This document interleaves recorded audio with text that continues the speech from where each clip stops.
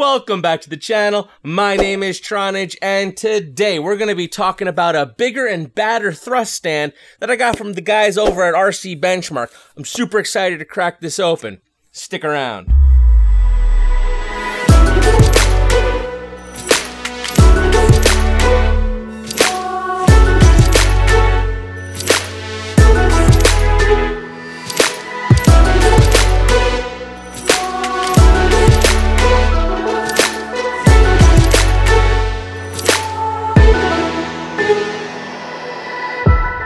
I have a lot of props that I want to get tested. Primarily because being a subscriber of both Drone Drop and Quadbox, it means that I'm going to be getting a lot of props. I get basically two types of props every month, and I've been a subscriber for just under a year now. So that's a lot of props that I've accumulated. What I've been doing is I've been taking each each time I receive a set of props, I take one of them and I set it aside as part of my like test set, if you will. And the plan is really to just go through, sit down, and really just test the whole gamut of props that I have versus all the different motors that I have, which is considerably a lot of tests. Let's say, for argument's sake, let's say that I have like 20 to 30 props, and I, let's say I want to test it on like four or five motors. You know, five motors with 30 props, that's like 150 tests. So it's a lot of tests that need to be done. So I got in touch with the guys over at uh, RC Benchmark, super helpful, asking them for advice um, and and just trying to figure out what's the best way to go about this and what's the best way to do these tests and to essentially what should I do? Basically, what we determined was that the thrust stand that I had, which was the 1520 uh, version, would work completely fine, but it wouldn't capture all the data, if you will. Primarily, the word that they said that really made me think was torque. When we talk about motors and we talk about lower KVs and bigger props, we're always talking about torquey motors and we're always using this word torque. But not many people I notice when you're looking at profiles of motors and props talk about torque. And if I feel like I'm going to talk about motors being torquey or the torque of a motor, I probably should have some measurements to back that up. And that's why I have in my hand their next step up of thrust stand, which is the 1580. When actually what's in this box is the 1585.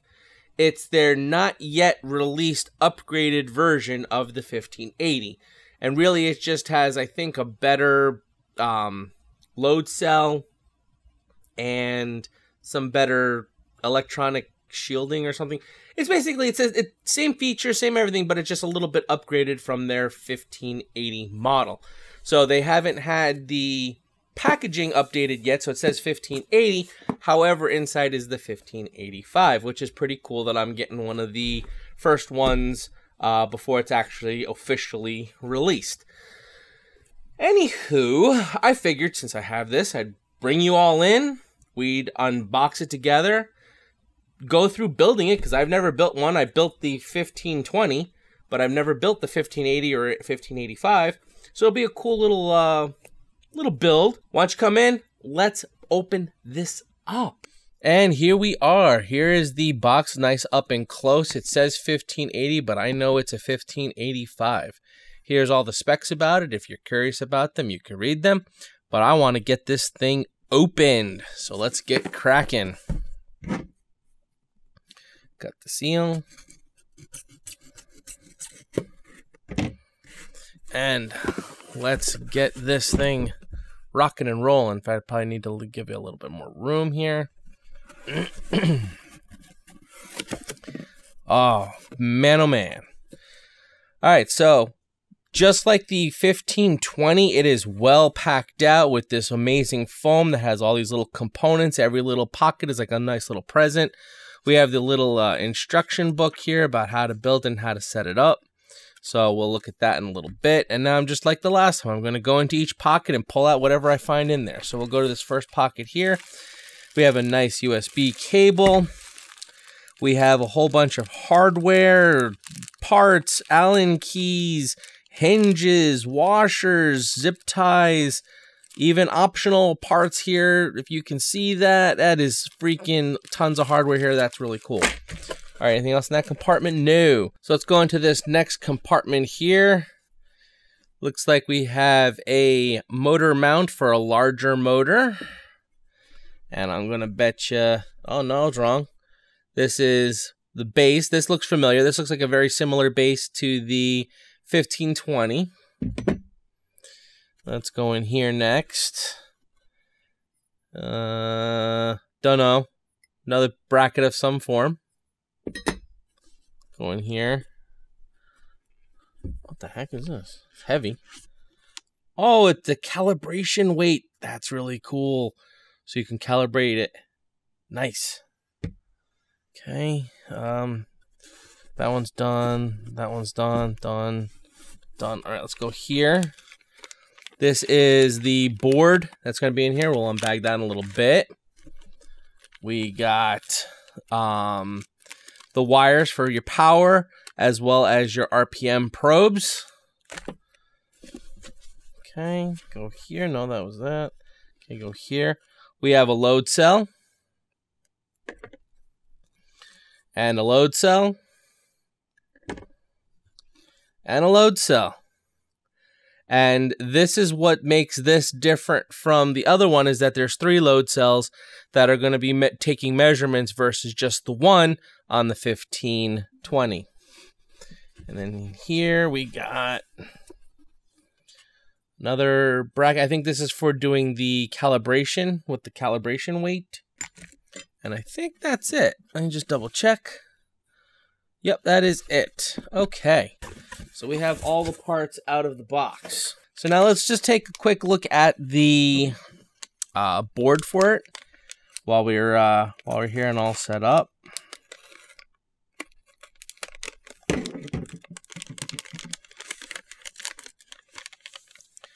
Wow.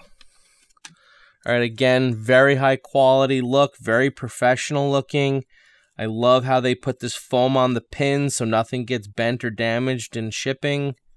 That's great. Very, very, very awesome.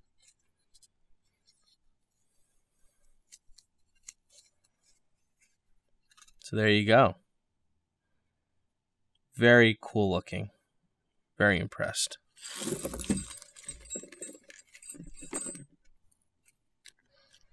Okay. Lots of parts. All right, so one thing I actually I'm getting ahead of myself here. What I like to do when I'm building something is I like to sort my parts. I like to put them in little piles so I can see what I got. Wow, I'm impressed actually. Why am I impressed? When was the last time you ever got Allen keys with a product that are the kind with the ball tips. I mean, come on. You ne- they're usually the cheapo kind. They're never the kind with the little ball end so that you can do like that off center. You know, these are like you want to save these and put these in your toolbox. Crazy. Okay. Some hinges, put those there. Let's see here. So let's do some similar sized screws.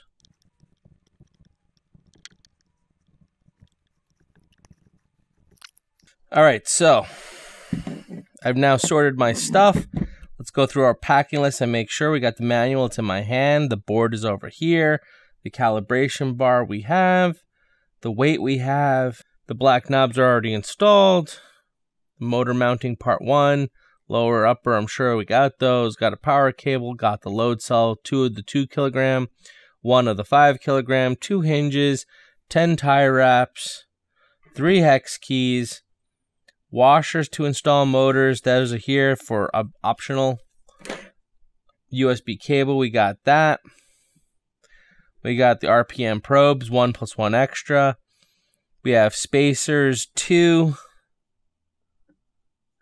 No, these are the spacers here. Two spacers. We have two washers. Looks like I got four though. We have uh, the 5 millimeter M4s 12, 1, 2, 3, 4, 5, 6, 7, 8. I only got 8. No, that's all that's in here is 8. Hope I only need 8. Oh, there's 4 already installed 1, 2, 3, 4. That would be 12. We have 4 of these. I only see 3 but perhaps one's installed somewhere else already.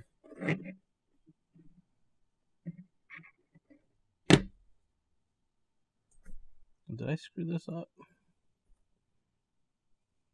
Ah, found it. Okay. I mislined up my stuff. Okay, we have four of these screws, which are the 12 millimeter M, uh, M4s, and six of the M5 12 millimeter. So we are now good. Now let's start building. All right, so we take two of these and we attach our load cell and we're going to put it so the wires face out. So it'd be like this. Oh, it's going the wrong way. So excited. Okay, like this. I'm right-handed. I need to do it with my right hand. Okay.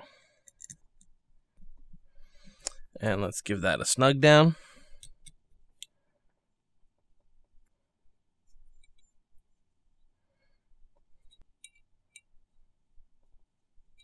Okay. Step one done. So step two, and now I'm taking two of the M5, right? This was M4. This is M5, so that's this is an M5. Okay,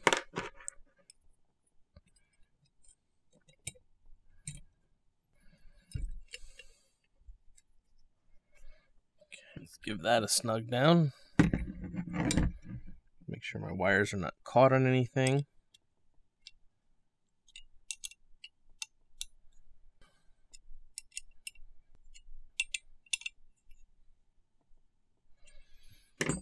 And now I put my two kilogram load cells with the wires pointing inside for both load cells.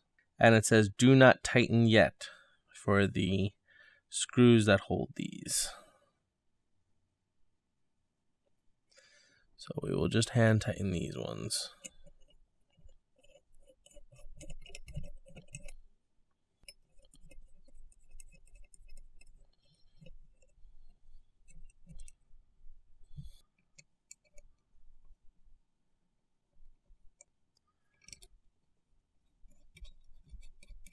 Attach hinges to motor mounting part. So this is the motor mounting part here. And we're using the M4 by 5, the little guys. One thing I gotta say that I really love about this product is how it all just goes together. Like all the holes are already tapped with threads. So it's really just you're just screwing these screws right in. You don't have to worry about nuts and washers and stuff. I mean, there's a couple little washers here, but you know, you can put some things together and it's like you got to find a nut and a bolt and a, and a everything and you put it through. This is just really well made, well designed.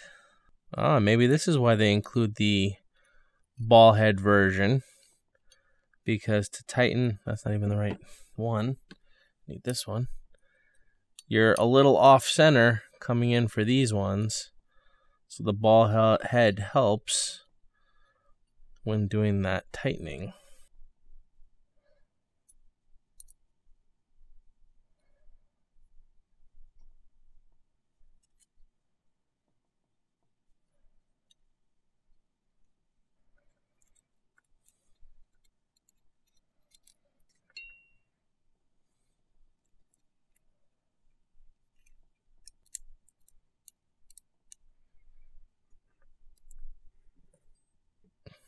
There we go. Looks just like the picture. Assemble data acquisition board motor mounting part and lower structure port part.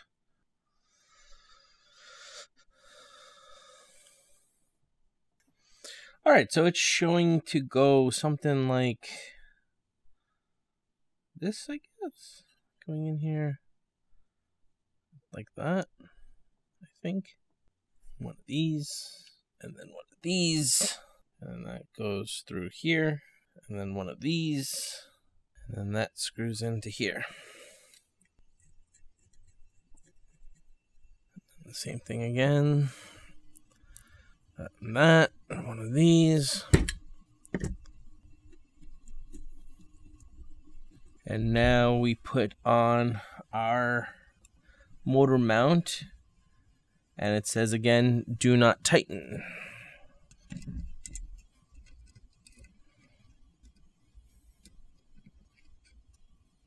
I'm just going to leave them nice and loose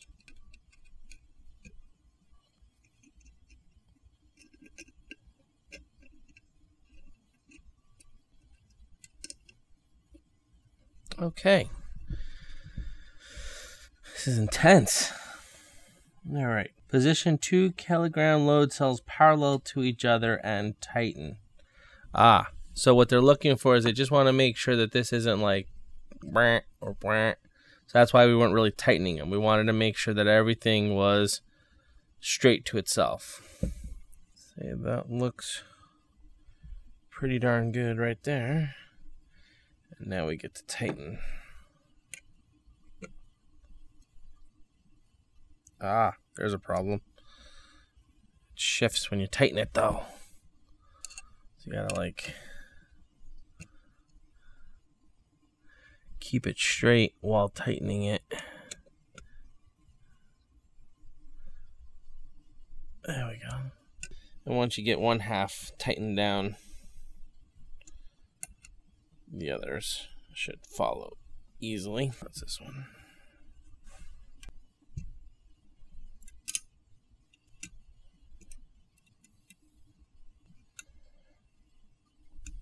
Okay, looking good.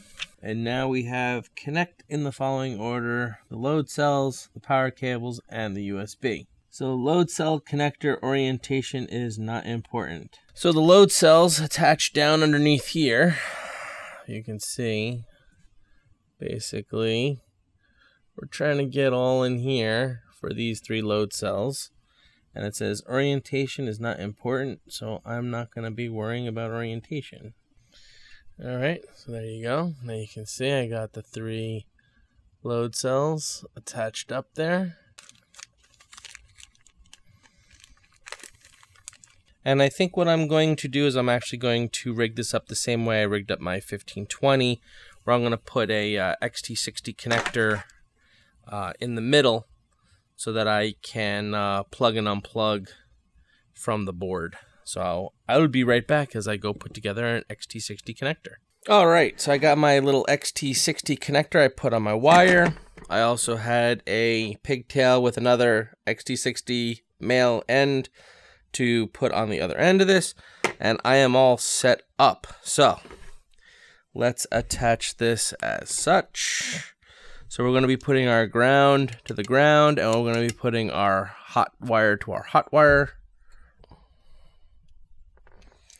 There we go. And then we're going to gather these up and zip tie them to the sides as shown here and here. So that all these wires are nice and out of the way.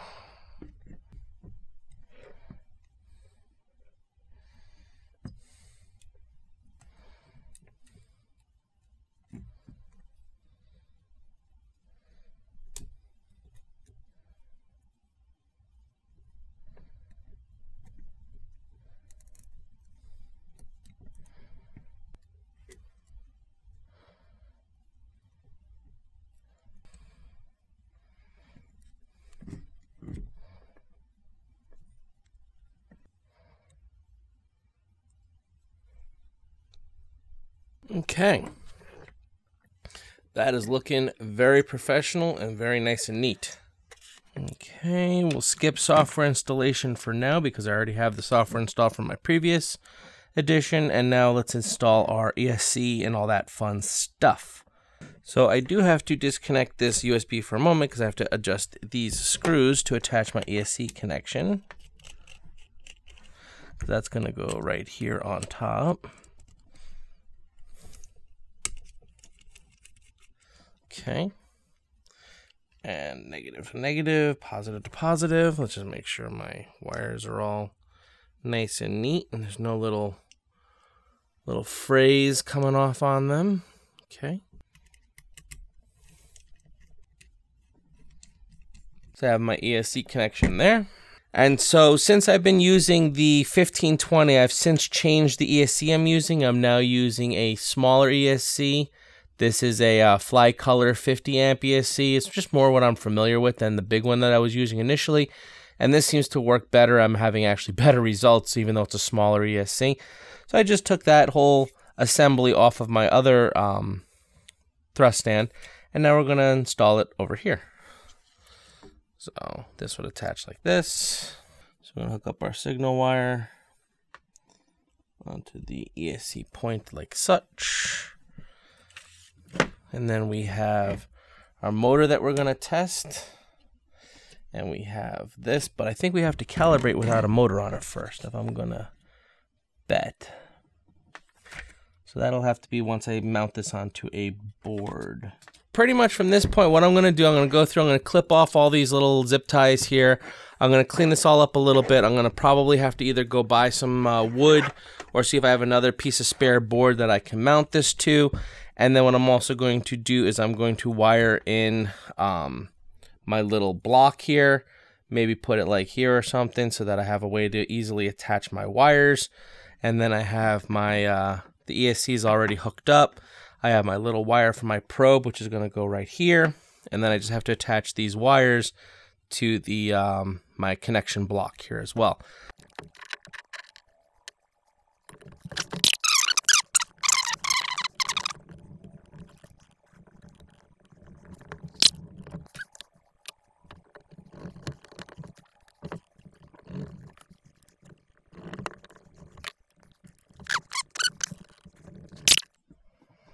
Okay, so we got everything all attached. We have my ESC set up. We have the ESC getting power from the board. We have my little junction box here so that I can easily attach and detach motors. And this one seems to have detached itself. So that's really quick.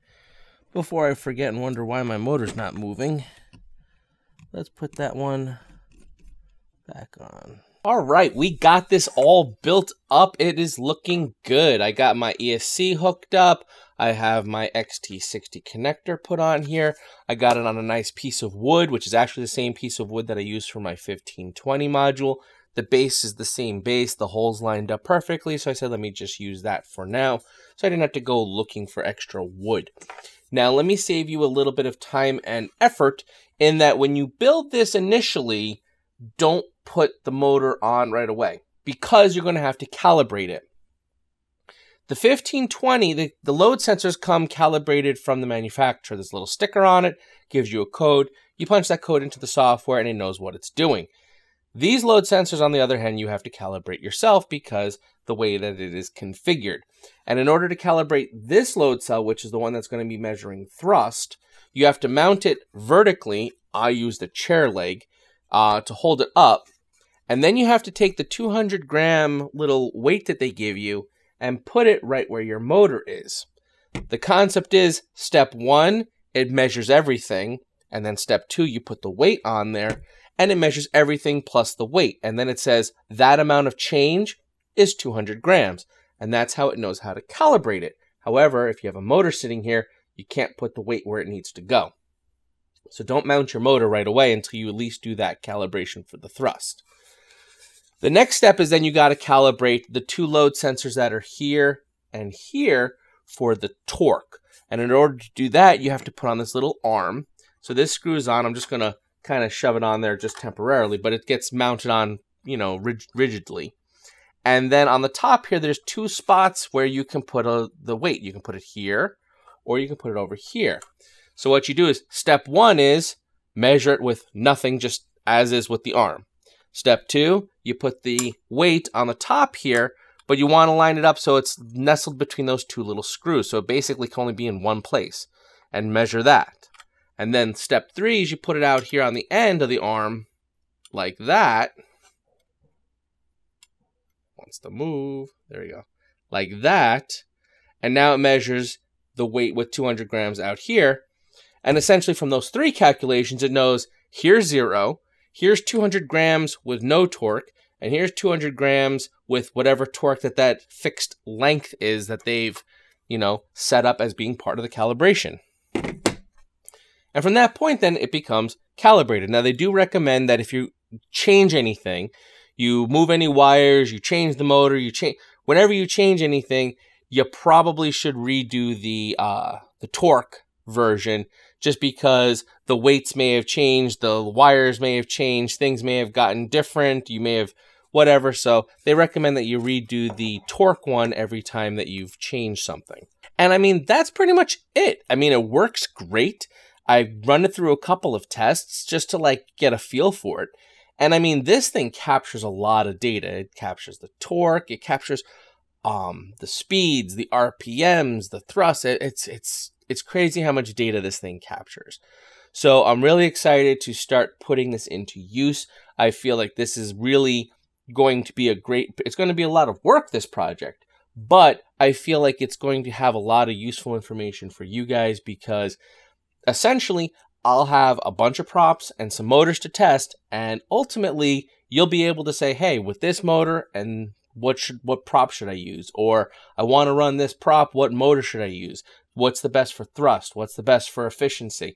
And it should really kind of demystify the whole which prop, which motor, and also which ESC because it's also going to be measuring the amp draw. So you can say, hey, with this motor and this prop, I'm pulling this many amps. Well, now I know what ESC I need. It won't tell you obviously what brand you need, but at least you'll know what capacity you need so you don't end up having a 30 amp draw and you put a 20 amp ESC on it and then end up with a little bit of a fire.